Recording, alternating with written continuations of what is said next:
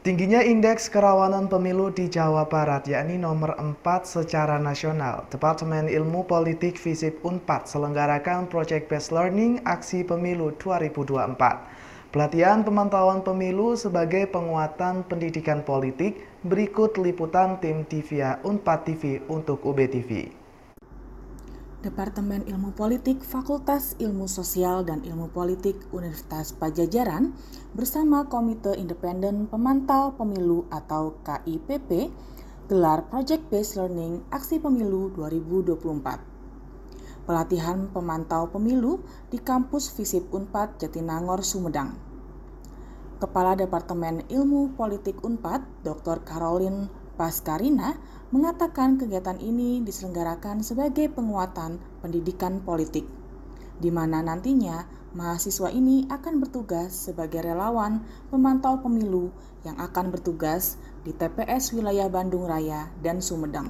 Uh, hari ini Departemen Ilmu Politik Visip Unpad berkolaborasi bersama Komite Independen Pemantau Pemilu atau KIPP menyelenggarakan kegiatan uh, Project Based Learning berjudul Aksi Pemilu 2024. Jadi kegiatan ini merupakan bagian dari proses pembelajaran yang dilakukan di program studi Sarjana Ilmu Politik di mana para mahasiswa akan menempuh uh, pelatihan untuk menjadi pemantau pemilu yang nanti akan diterjunkan dalam rangkaian kegiatan pemilu 2024 mulai dari tahap kampanye hingga tahap pemungutan suara di hari haknya.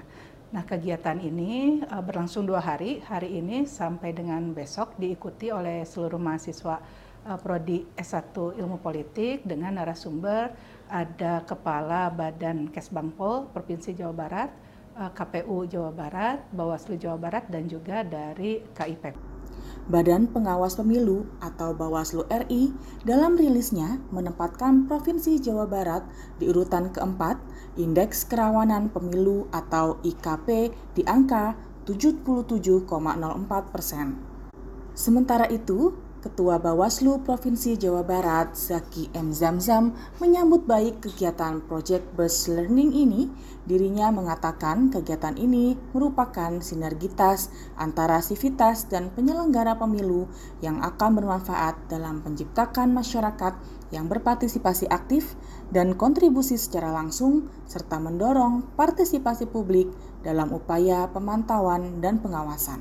Uh, apa yang diinisiasi oleh Sivitas Akademika Fisip 4 dengan uh, eh, KIPP ya. Ini kegiatan yang sangat baik uh, di mana teman-teman mahasiswa selain dibawa untuk menjadi lebih concern terhadap isu-isu demokrasi, pemilu, eh, isu-isu pemantauan pemilu, ya, bahkan ke pengawasan pemilu, gitu kan.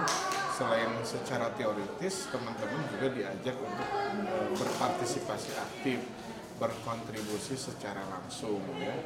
Ini kan tujuannya untuk menjadi e, pemantau pemilu ya.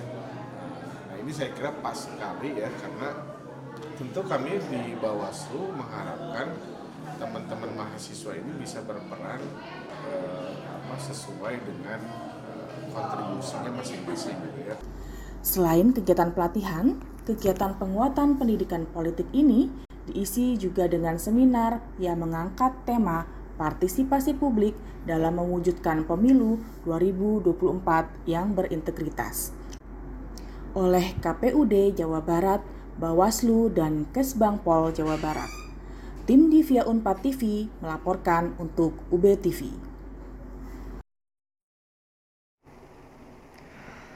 Pemirsa informasi tadi sekaligus menutup perjumpaan kita hari ini. Jangan lupa saksikan News Point setiap hari pukul 13 waktu Indonesia Barat hanya di UBTV, Televisi Pendidikan Universitas Brawijaya. Saya Abdul Muiz dan seluruh kru yang bertugas. Pamit undur diri, terima kasih dan selamat beraktivitas.